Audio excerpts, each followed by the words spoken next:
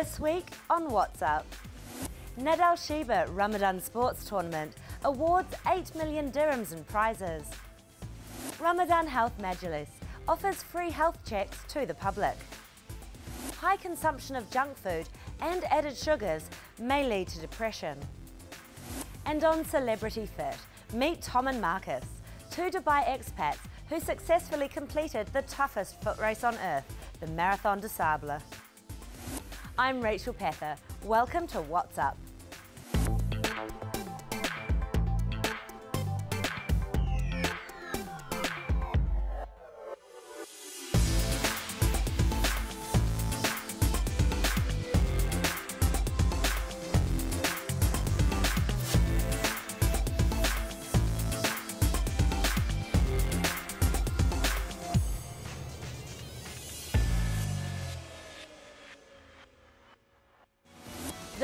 Nad Al Sheba Ramadan Sports Tournament successfully concluded this July, giving away a total prize money of 8 million dirhams to the winners. The tournament hosted an array of sports competitions, such as paddle tennis, archery, cycling, volleyball and running, to name but a few held over the holy month of Ramadan. More than 4,000 athletes took part in this exciting event, held under the patronage of Dubai Crown Prince and Chairman of Dubai Sports Council, His Highness Sheikh Hamdan bin Mohammed bin Rashid Al Maktoum.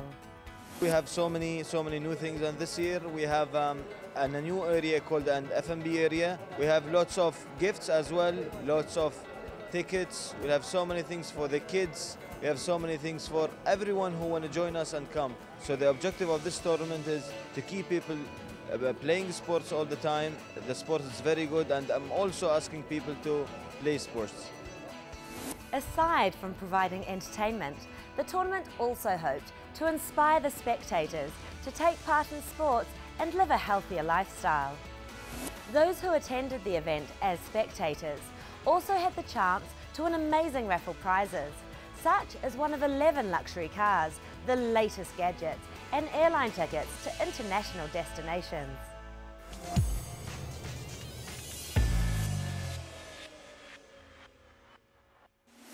A Ramadan Health Majlis was put up in Dubai to provide free healthcare services to the public. Located at the front of the Medeor 24-7 hospital in Bur, Dubai, the Majlis was operational from the 19th of June until the end of Ramadan, from 10am to 10pm.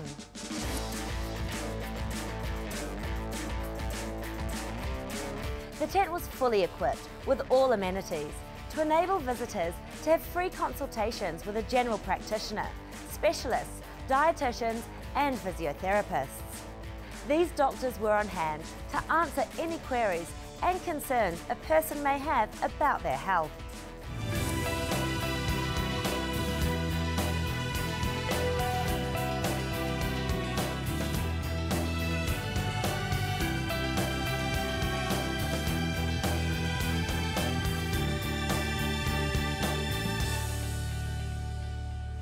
Counters were also available for people to do primary checkups, including blood pressure, blood sugar levels and BMI tests.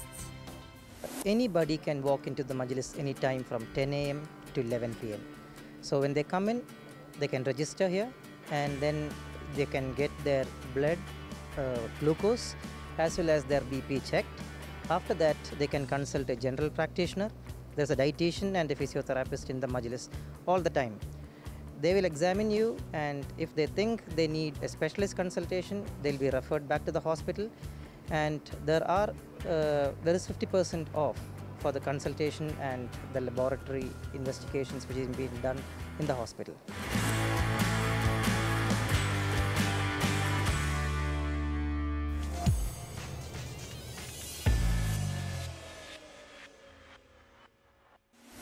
A new study published in the American Journal of Clinical Nutrition has found a link between high consumption of junk food and depression. According to the World Health Organization, one of the biggest burdens on society is depression. This prompted a team of researchers to study if what we eat contributes to this modern disease. The team looked at data from food questionnaires and a scale that measured symptoms of depressive disorders of 70,000 women. The researchers found that those with diets higher on the glycemic index, including those rich in refined grains and added sugar, were strongly associated with greater odds of depression. Some aspects of the diet which had protective effects against developing depression included fibre, whole grains, whole fruits, vegetables and lactose. Though the authors couldn't pinpoint a mechanism from the study, they noted that one possibility is that the overconsumption of sugars and refined starches is a risk factor for inflammation and cardiovascular disease, both of which have been linked to the development of depression.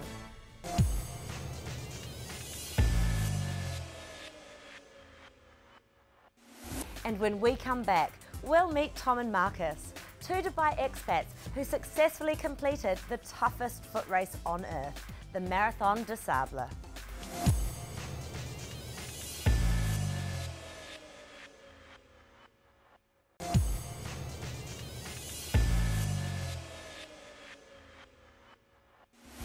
Welcome back to What's Up. The Marathon des Sables, or Marathon of the Sands, takes place every year in southern Morocco in the Sahara Desert. It's a grueling six-day marathon covering 251 kilometres, or equivalent to six marathons. Considered to be the toughest foot race on the planet, this ultra marathon proves to be a test of endurance and determination to every athlete who enters. This year, two Dubai expats faced the challenge and successfully completed the race. Let's meet Marcus Smith and Tom Otten for this week's Celebrity Fit.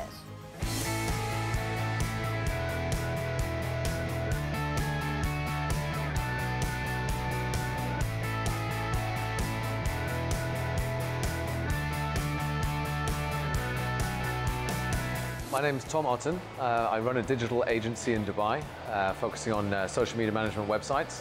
I've been here for nine years. I'm originally from UK. I studied in uh, South Africa. And I spent most of my time in the Middle East uh, before coming to Dubai. Uh, Sports-wise, rugby's been my passion for most of my life. Uh, when I finished playing rugby, I got into distance running, and uh, hence why I ended up doing the Marathon des Sables. My name's Marcus Smith. I'm originally from the UK. I've been in Dubai for a number of years. I've been into sport my whole life. I used to play professional rugby down in Australia and I moved back to Dubai in 2004 and in 2008 set up my own company, InnerFight, which is an international fitness performance company based here in Dubai where we help to make people's lives better through physical training and physical instruction.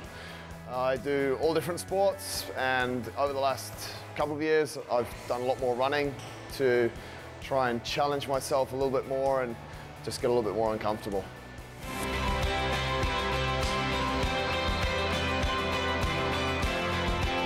Started out through rugby actually. Uh, we used to play against each other for many years. I was part of the Dubai Dragons and Marcus was, uh, was captain in the Dubai Exiles at the time. So we used to play against each other. That's how we got to know each other. And then from there we both ended up playing um, international sevens. Uh, so we met on the, uh, met on the rugby field and, and became friends from there because I think we both had an affinity for pushing ourselves to limits and, and sort of we, uh, yeah, we became, became friends from that.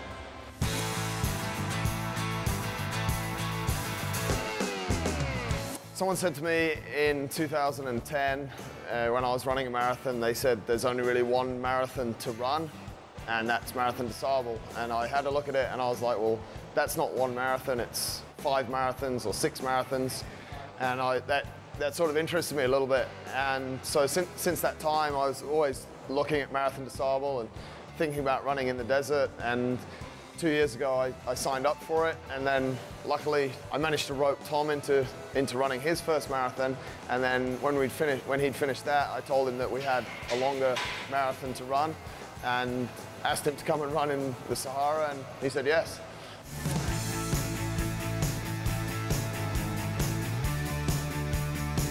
We're very fortunate to live in the UAE, where we do have a fairly similar environment in terms of it's hot, uh, it's yeah, terribly hot sometimes out in the desert, and it can get quite humid as well. So you know, we had the sand out there to go and run through. Uh, a, it was a great opportunity to, to get out into similar sort of environments, which a lot of the guys coming from Europe don't get the opportunity to do that.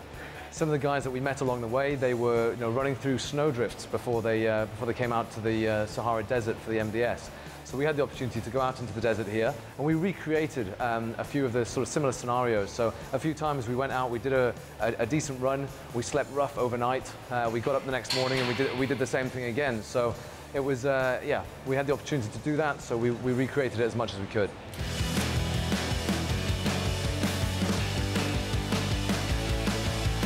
It's been the greatest physical challenge that I've done personally uh, to date.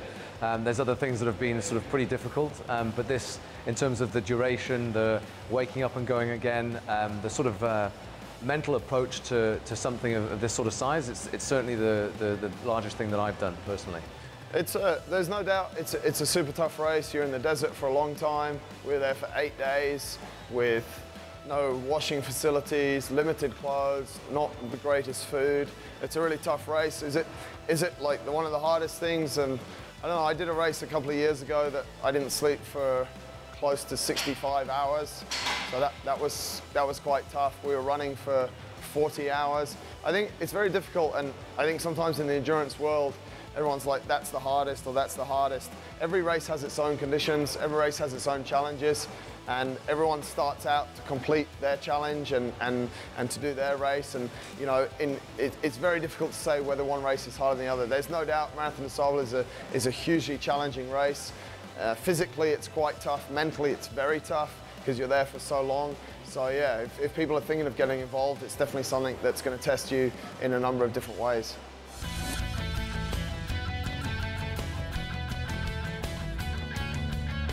There's two different ways to look at it. A lot of people take a lot of very high sugar food. What we, what we chose to do is, is use fat as a, a source of energy. So we use a lot of fat, which we're able to get a lot of calories from, from relatively small amount of food. Although having said that, you still, you try and envisage what six days of food looks like. So we looked at a lot of dehydrated food, a lot of pre-packed food, and a lot of food that gave us really high energy levels and, and a lot of calories to as, as small and as dense as possible.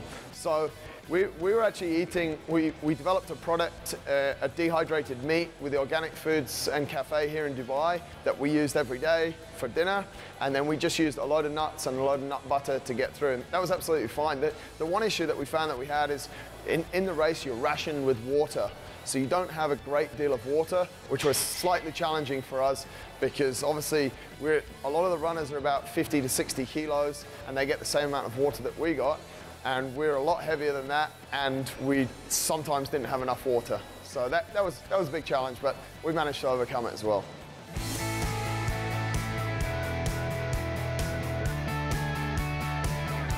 it doesn't really test your friendship. Like I say, if you, if you know why you're there and why you're doing it, it's more about enjoying it and just helping each other in the times that are probably not so easy.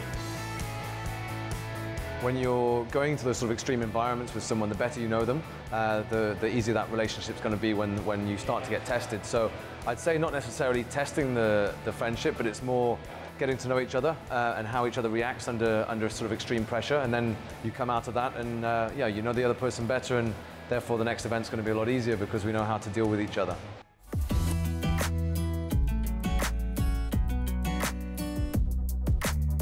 It's, the, the race is just a, it's, it's, a short period, but there's a lot of preparation for that. You know, there's months and months of planning what you're going to eat, what you're going to carry, um, all the training that you're going to do out in the desert. There's a lot that comes with it. So if you're going to do all of that on your own, and it really is sort of a, at least a six-month undertaking, um, if you're going to do that on your own, that's, that's a lot of time you're going to spend on your own, and it's for me personally, I'd rather spend that with someone that, that you know, we have a bit of fun with. So that, that's my point of view. Find someone that you get on with and find someone that you can have fun with and it really helps your morale and it'll help you to be successful in that challenge. Tom and I, luckily, as, as we said, we knew each other, we played rugby, we've known each other for the best part of 10 years, and we are able just, in every situation, just to try and have as much fun as possible. For me, that kind of, that really helps a lot.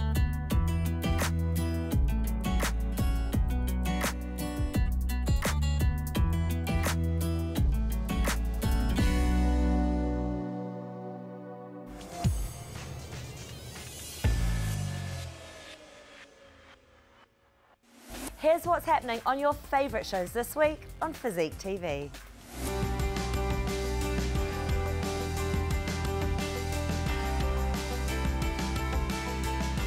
Here's what we have in store for you this week on Physique TV. This week on Good Chef Bad Chef, rice dishes will be in the spotlight as Adrian and Zoe explore different takes on how to cook this humble grain. Nutritionist Zoe is going Italian with a baked rice cake, and she'll also cook a rice pilaf, which is classically a Middle Eastern dish.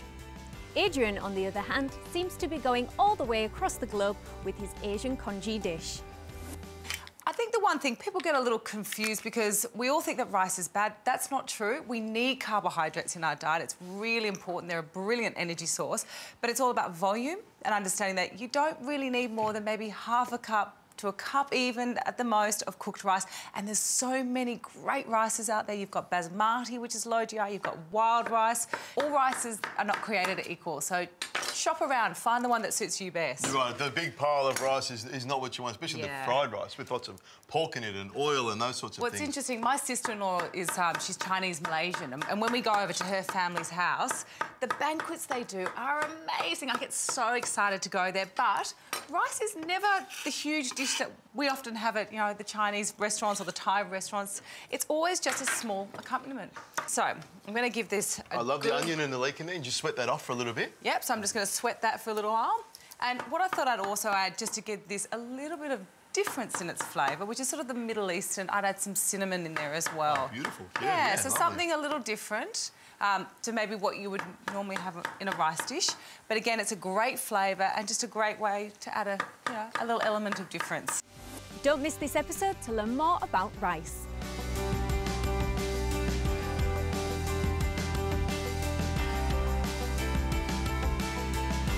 What do Adam and Tim have in store for you on this week's episode of Cliptomaniacs? Let's catch them in their van while they are recording this episode.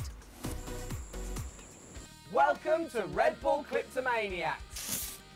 This is the show which keeps you perfectly in sync with the world's best free sports clips. That's my line. No, that's my line. Stop copying me. No, you stop copying me. Here's what's coming up on the show. Coming up, Nikolai Krasnikov takes the world of ice speedway by storm.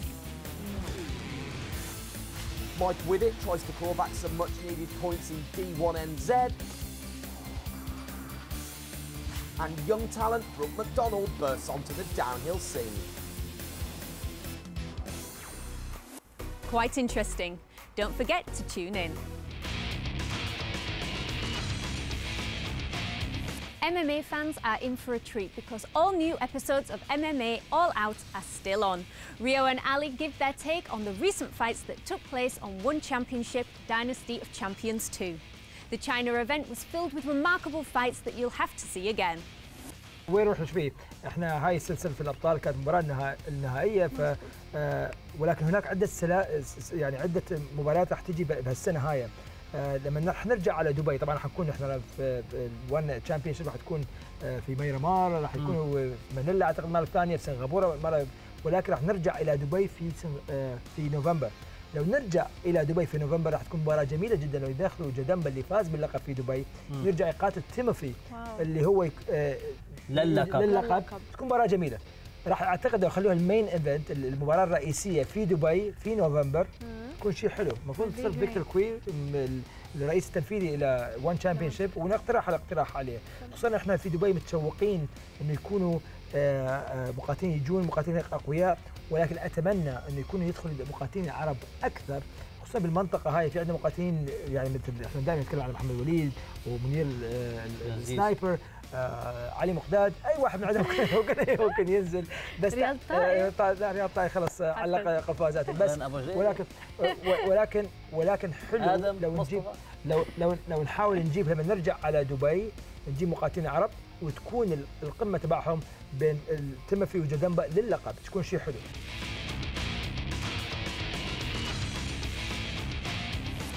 To know more about our schedule, don't forget to visit the Physique TV website.